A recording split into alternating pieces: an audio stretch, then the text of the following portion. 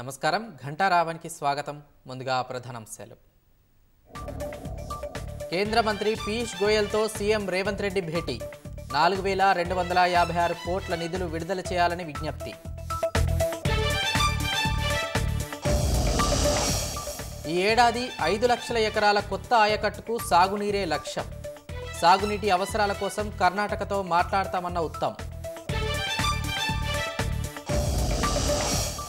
సంక్రాంతి పండుగ వేళ సొంతూళ్ళకు పయనమైన ప్రజలు. ఎన్హెచ్ సిక్స్టీ ఫైవ్ పై ఐదు కిలోమీటర్ల మేర నిలిచిన వాహనాలు.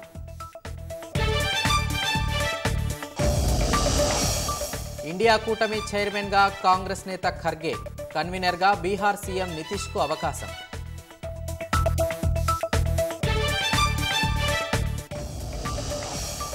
జమ్మూ కాశ్మీర్లోని గుల్మార్గ్ సెక్టార్లో సైన్యం అసాధారణ ప్రదర్శనలు. మంచులో చిక్కుకున్న బాధితులను రక్షించేందుకు విన్యాసాలు.